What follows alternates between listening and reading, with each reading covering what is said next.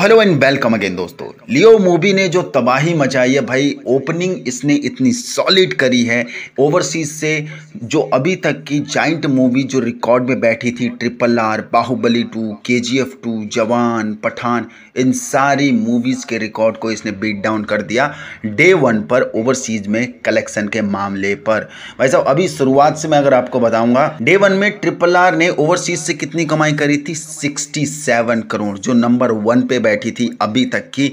Second number पर थी Baahubali to जिसने पैंसठ करोड़ की कमाई करी थी। और थर्ड नंबर पर थी पठान, जिसने 40 करोड़ की खतरनाक कमाई करी थी ओवरसीज से, डे वन में ओपनिंग के मामले में। उसके बाद जवान थी, जिसने उनतालीस करोड़ 40 लाख का ह्यूज ह्यूज कलेक्शन किया था, जो चौथे नंबर पर बैठी थी। उसके बाद के जी एफ़ टू थी, जिसने 24 करोड़ 50 लाख की डे वन पर ओवरसीज से कलेक्शन करी थी, जो भी पाँचवें नंबर तक बैठी थी। लियो मूवी जब आई है लियो ने परसों जब ओपनिंग करी है, भाई साहब, न कि सेकेंड न कि थर्ड सीधे फ़र्स्ट नंबर पर जाकर यह मूवी बैठी है, जिसने ओवरसीज से कितनी कमाई करी? सड़सठ करोड़ तीस लाख की कमाई इसने ओवरसीज से करी है। इट मीन्स ये कि 8.09 मिलियन डॉलर। तो मैं अभी आपको कंट्री वाइज बताऊँगा लियो मूवी ने कौन सी जगह कितनी कमाई करी है।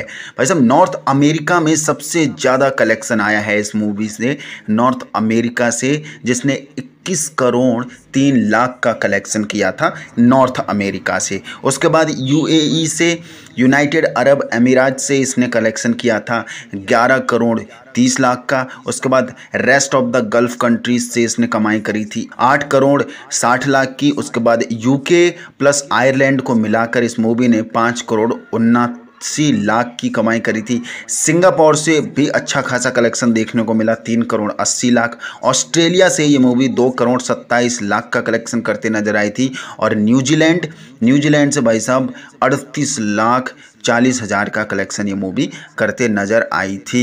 उसके बाद कुछ एक, दो तीन कंट्री और हैं जहाँ से इन्होंने चौदह करोड़ तेरह लाख का ह्यूज ह्यूज कलेक्शन करा है। तो इन सब कंट्रीज़ को मिलाकर टोटल होता है ओवरसीज से डे वन पर कमाई सड़सठ करोड़ तीस लाख। ह्यूज ह्यूज कलेक्शन अभी ट्रिपल आर नंबर वन पर थी, जिसने सड़सठ करोड़ का ह्यूज कलेक्शन कर रखा था।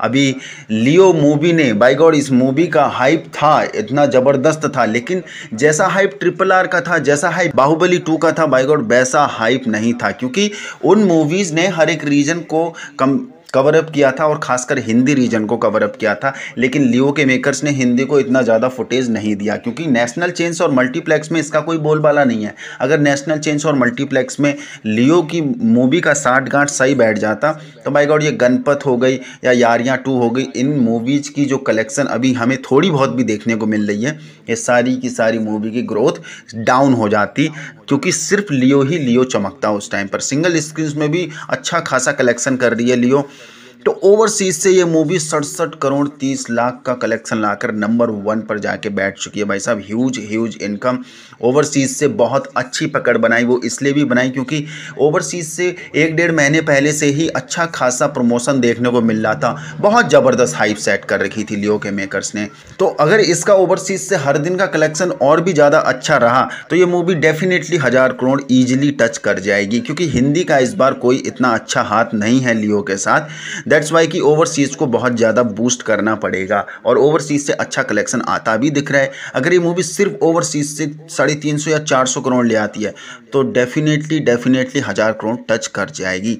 आपकी क्या राय है, क्या ये मूवी तीन सौ करोड़ टच कर जाएगी ओवरसीज़ से? जो भी आपकी राय है, नीचे कमेंट बॉक्स में ज़रूर बता के जाना। मिलते अगली वीडियो में। जय हिंद।